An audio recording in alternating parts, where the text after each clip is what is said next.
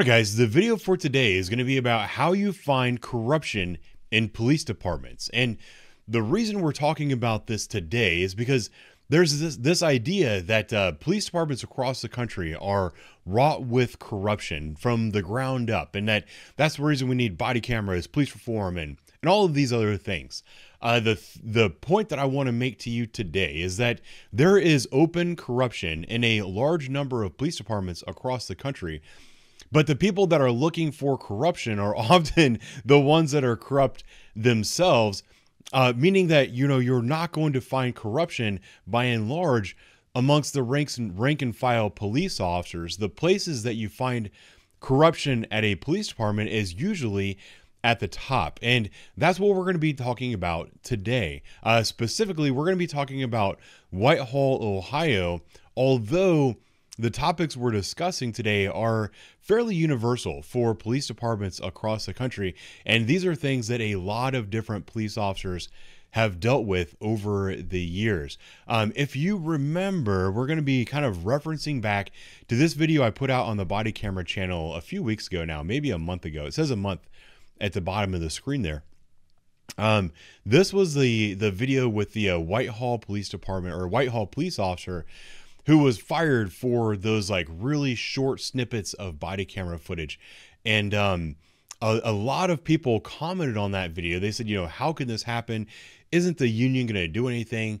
Uh, can he sue to get his job back? And that's going to be kind of the way we're going to discuss this public corruption topic today and it it might be a little too complicated for some people you might have to like really think about it but trust me this is where it's at um, the reason I say this is public corruption, and I, I put the definition up on the screen, I'm going to read it just for my own benefit once again. It says dishonest or fraudulent conduct by those in power. And the type of fraudulent or dishonest conduct that we're talking about is going to be the way that they fired Officer Ortega in Whitehall, Ohio.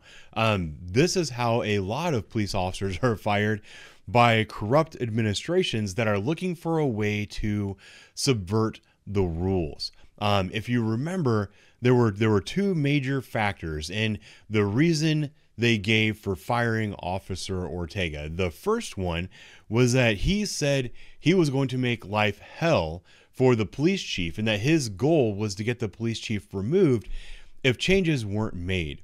And in that video, I talked about how Officer Ortega was actually the grievance rep for the Whitehall Police Department. Uh, what does a grievance rep do? Well, I actually brought up the um, the Ohio Revised Code. I'm going to pull it up for you here in just a second. Got it right here. So this is the Ohio Revised Code. This is basically the uh, the list of laws governing governing the state of Ohio. And this particular code section that I brought up is uh, the rights of public employees. And this is, uh, if you want to look it up for yourself, section uh, 411703. And it, may, it deals mainly with public employees' uh, union activities. And the, the part that I want to read right here are points four and five. Uh, the rights of public employees, and this is saying that they, they should not be infringed or the, the, the employer should not be trying to stop employees from doing these things. Uh, to bargain collectively with their public employees to determine wages, hours, terms, and other conditions of their employment, um, and continuation, modification, or deletion of existing provisions of a collective bargaining agreement and enter into collective bargaining agreements. Um, basically, saying that uh, public employee unions are allowed to get together and talk about the terms of their employment, the rules, regulations, and all of the things those things governing how they do their job, because it has to do with like working conditions. Uh, that's that's the the guts of what I just read there. And then another protected activity is here in point number five, the ability to present grievances and have them adjusted without intervention of the bargaining representative um, as long as the adjustment is not inconsistent with the terms of the collective bargaining agreement, uh, then effect and yada yada yada, and have the opportunity to present and have them adjusted. Uh, what this is saying is that as a, uh, a member of a public sector union, you have certain activities that are protected. Uh, some of those activities that are protected are your ability to file grievances against your employer saying, look, you guys aren't following the rules. This is not a work environment that the employees collectively are happy with. We would like to file a grievance and have this this kind of rule or this kind of conduct adjusted. Often, as a union representative, quite frankly, it is your job to make the chief's life hell if he is not following the collective bargaining agreement.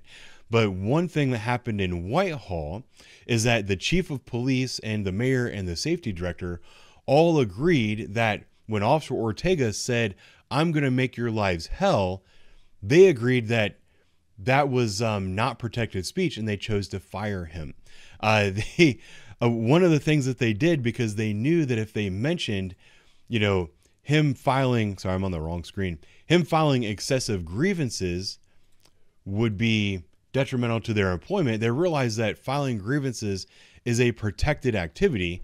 So what they did instead is they went and found some body camera clips and they said, due to these four short body camera clips, we're going to fire him, saying that he is speaking to the public in a negative manner about the department. Um, I've got those clips. I'll go ahead and play them now. I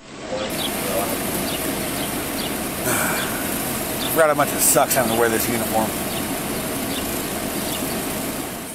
Looking forward to retiring every day. Yeah, yeah. You've been, what, 25 years?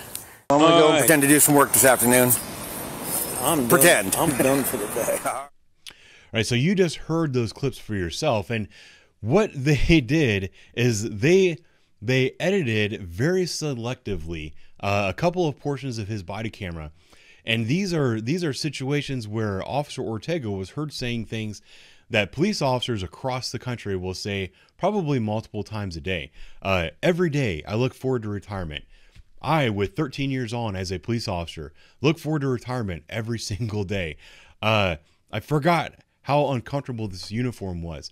Uh, just before that, he mentioned that he had been on an extended period of leave where he wasn't wearing the uniform.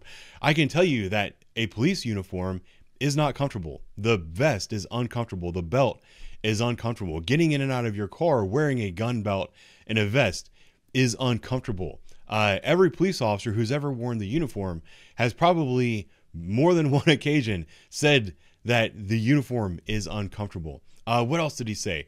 He told a resident, "Hey, I'm gonna go look. I'm gonna go find a way to look busy for the rest of my shift."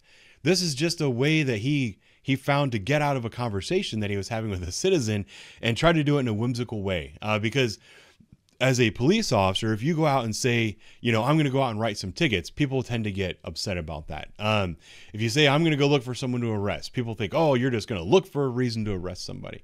Um, if you want to try to disarm people and do it in a, a cozy, friendly way, you say, hey, I'm going to go out and look for a way to make sure it looks like I'm busy or look for a way to keep busy, something, something like that. That's what he said.